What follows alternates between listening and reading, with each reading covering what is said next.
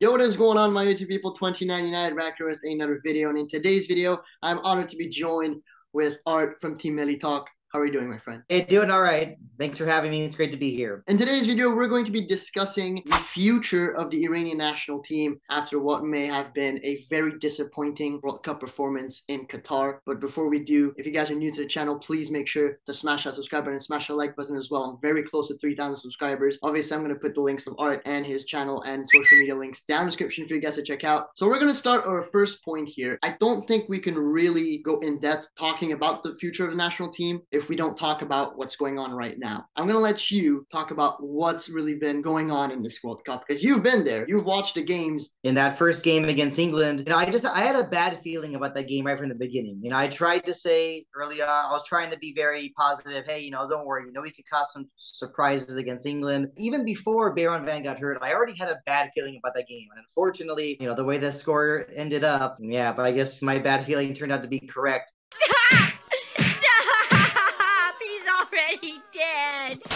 You know, at that time I was feeling very down. But, you know, the win against Wales was was epic. It was a great way to bounce back after a, after losing to England six two. When talking about the game against the United States, I just feel like Iran came to that game playing for the draw. They knew a draw would be good enough to get them to the second round. This World Cup turned out to be a lot more political than we would have liked it to be, and unfortunately, it did play an effect. Nevertheless, we move on, and we're going to talk about coaches and the managers. Carlos Queiroz, I, I don't think it's been official yet, but there's talks of him staying until the Asian Cup. Nothing is confirmed. Who would you like to see come in, or would you like to see Queiroz out? Do you think it's wise to kick him out for now with everything that's going on in Iran? You know, I recently said that Iran needs a new identity. It means time to move on to a different coach. I feel like Iran has just been, you know, latching on to Carlos Queiroz for a long time now. He left. Yeah, we saw what happened with Wilmots. That wasn't good. Um, you know, Dragan Skocic came in, you know, righted the ship. I know people weren't a big fan of him. We eventually saw what happened. You know, he lost the locker room. I mean, it's a very simple way to answer this. I would like for Iran to get a new coach, you know, someone who's going to really bring in this new identity,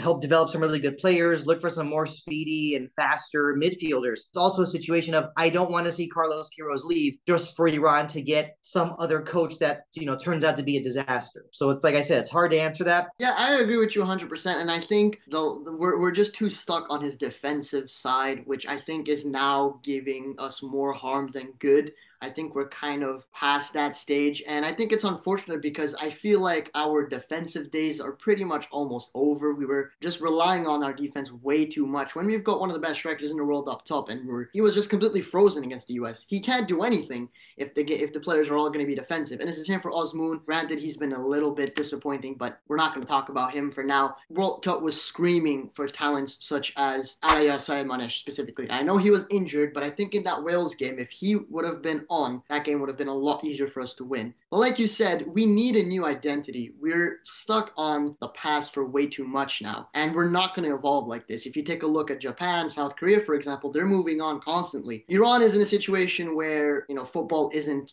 the top priority right now, obviously, even when the World Cup is around. And it's not easy with the choices that have been made in the past few months. It's been poor. It's been really poor. Football's at the top priority, but you know, you brought in the very good example when you talk about South Korea and Japan making that progress. You know, we want to see Iran doing in that progress too. You know, I want to see Iran play, you know, much more attacking football. You know, we want to see you know, there's the great passing, you know, more goals against the run of play. I mean, I, I shouldn't mention so much more goals against the run of play. I mean, this past tournament, Iran did did score four goals, so that was a nice change. I mean, mind you, yeah, two of them were against England when the game was already way out of reach. I'm glad that we saw a win that didn't involve, you know, an own goal on a free kick really late. You know, that win against Wales was you know, fully, you know, fully earned, well deserved. For Iran, they they're able to see Japan and South Korea doing well. Iran's got to be doing the same thing as well too. How do we get past this stage now. We have talents that are very raw, that aren't really proven enough. Should we stick to our old players like we did here in this World Cup, or should we now start trusting our young players more and more?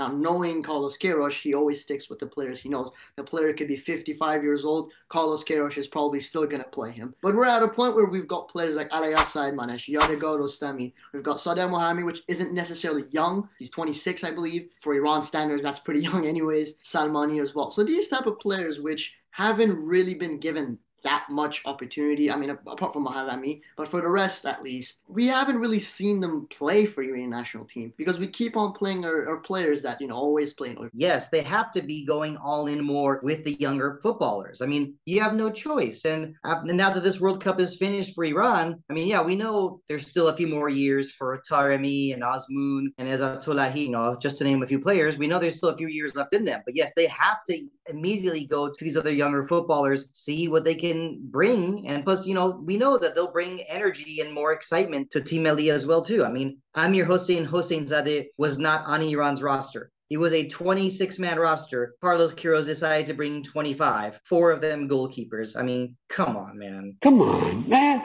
Yeah, I agree. And just take a look again. I'll keep bringing Japan and Korea as an example. Japan, you know, they've got players like Takefusa Kubo, they've got Kaoru Mitoma, all these type of players that are young and they're given a lot of chances. Moriyasu, the manager, gives a lot of hope in them, and that's what they produce. They're very good players. Whereas when it's for Iran, it doesn't seem like it. And I, when's the last time Sayyadmanesh played significant amount of minutes for Iranian national team? I don't even remember myself. If we keep on going like this, it's not going to work out. We just have to be honest with ourselves. I know it's easy to look at Carlos Queiroz and say, look at these players he brought, but he also came back, you know, a couple months before the World Cup. So it was really, really expected that he was going to bring a huge majority of players that he was comfortable with. I just thought it would have been nice to bring, you know, a couple of these other younger players because when I look back at the time Omid Ebrahimi picked up that injury against Nicaragua, you know, that was like, you know, I feel like a lot of Team Melli fans are hitting the panic button. And when I look back at that, I'm just like, say, I say, to, I remember saying to myself, look, we've got problems because Omid Ebrahimi, I believe, already 35 years old, playing in Qatar. I want to say, I'm pretty sure he was playing for Al Wakra, but he was already 35 years old. I was not that concerned when he was hurt because, you know, he's,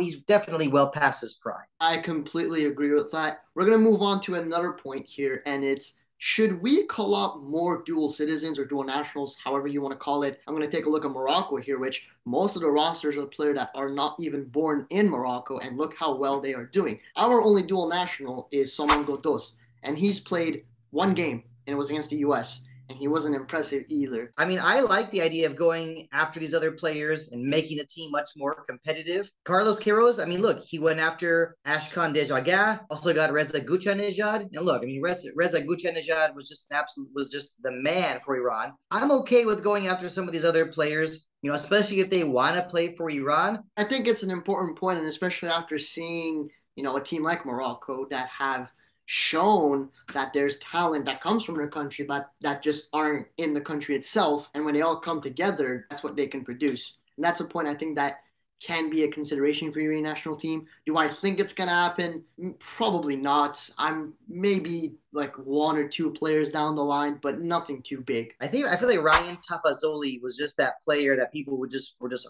wanting Iran to call up so badly. But I know what you mean though. If there is that eligible player that could really change every change so much for Team Melli, yes, of course I would like to see Iran call that player up. We're gonna move on now to the last point of the video, and that's what should Team Melli fans expect from your national team in the next few years? What obviously there's the Asian Cup coming up, which in my personal opinion I don't have much hope considering how the other Asian teams have played at this World Cup. I don't really consider us as the best Asian team. It hurts to say, but it has to be said. Well, the aim obviously is to win the Asian Cup, but unfortunately, you know, that has become that has been mission impossible for a long time. Then, you know, there was always those quarterfinal matchups against South Korea where, you know, Iran would win one and South Korea would win one. You know, it's, it's hard to mention. I mean, a part of me wants to say, okay, I guess start getting better at penalties because maybe their best chance of winning the Asian Cup is to just, you know, beat some of these better Asian teams in a penalty shootout. But I, I don't like I don't like saying that. You know, I don't want to see Iran just squeak their way past each team, past the better teams just by penalties. I mean, sure, you know, if they got to the final and got to a shootout and won, I wouldn't complain. You know, many Team Melli fans, including myself, you know, we want to see Iran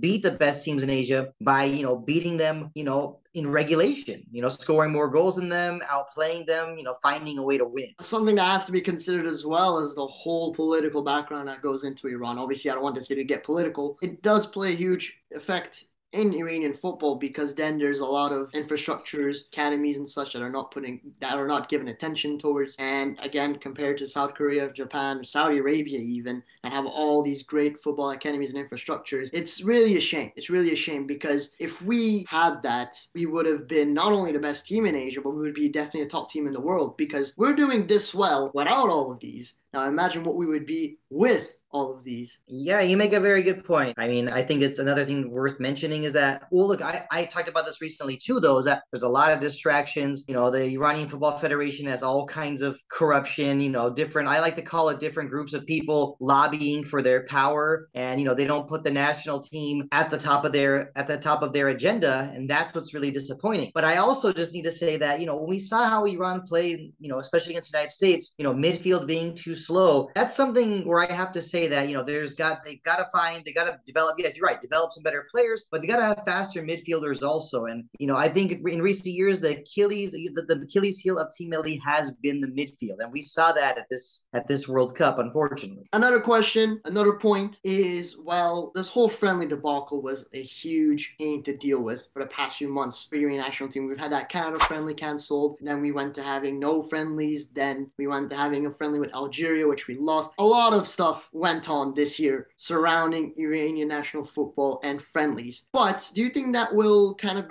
get fixed now that this whole World Cup thing is behind us? Probably not. And I think the next time Iran plays a friendly, I'm guessing it's going to be against Uzbekistan or against Syria. All right. Well, that's going to be pretty much it for this video. If you guys enjoyed the video, please smash that subscribe button and that like button as well. Like I said, I'm very close to 3,000 subscribers. And of course, I'll be putting my friends' social media links down in the description for you guys to check out. I just want to say thank you very much for joining this video. I just want to say, you know, thanks for having me. It's great to be here. And, you know, to all the Team Melli fans, you know, keep on supporting Team Melli, the national team of Iran. You know, got to be there for them, you know, through thick and thin. All right. I'll see you guys in the next one. Damn, I'm on red alert. Went up in the dirt, man.